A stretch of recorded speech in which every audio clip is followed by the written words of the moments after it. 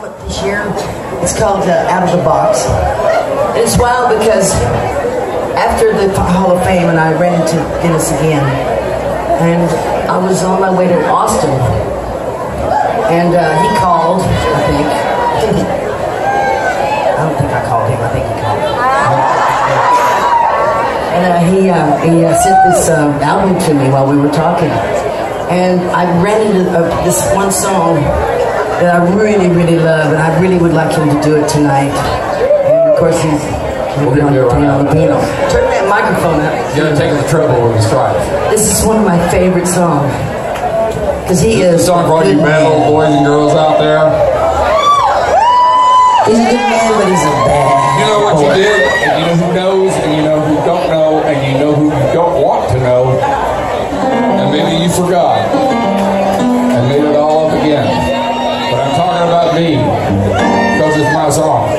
Absolutely. Here we go.